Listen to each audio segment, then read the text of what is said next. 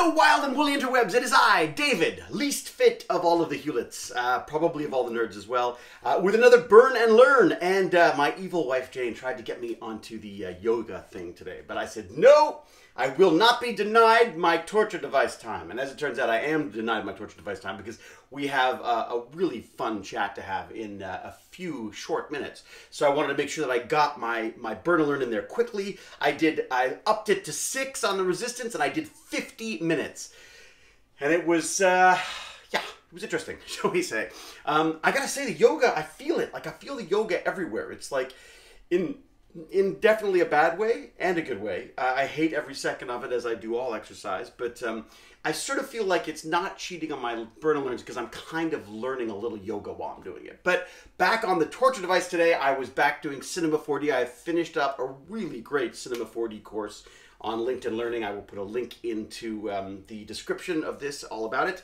Um, just getting into the anime, we've done all the animation stuff. Uh, tail end of that, a few cool, cool little effects they had and then into the rendering settings and how to render and the various different takes you can use and the different passes and how you sort of render it out in different sections so you can put it back together and have lots of flexibility when you actually come to the finished product. Very cool. And then I started my journey. I'm bouncing all over the place um, of Linux. I've started. I've I've always played with Linux. I know a little bit about Linux. I'm doing this Pentester Labs thing. I'm like 20 courses in on my nightly um, hacking courses at Pentester Labs, which I'm loving. Um, but I'm noticing that there's a lot of Linux that I don't know, and I also notice how sweaty I am. Um, but that's what I'm here for, to sweat in front of you. Um, uh, yeah, so I wanted to know more about uh, about Linux. So I've started to uh, take a Linux not even just a Linux course, it's a Linux stream again. So it's the full range of courses that will sort of hopefully give me some some understanding of how to administer a, a properly administer a Linux system. Because I've played with Linux many times before, but I've never got to the point where I felt like I had a clue what was going on. So this will hopefully give me at least a little understanding, give me a little bit of insights on how to do um, some of the more basic stuff that the Pentester Labs is teaching me as well. So just, um, yeah, just sort of honing in on that security stuff right now.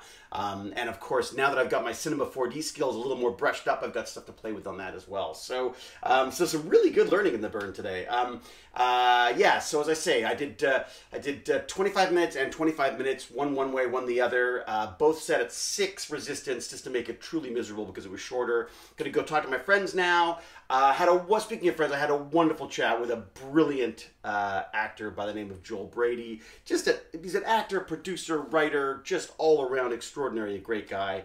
Um, so it was really nice to chat up with him. Thank you, Joel, for getting in touch. Um, it was uh, it was just lovely to talk to you, and uh, and good luck with your Sacramento adventures. I must say.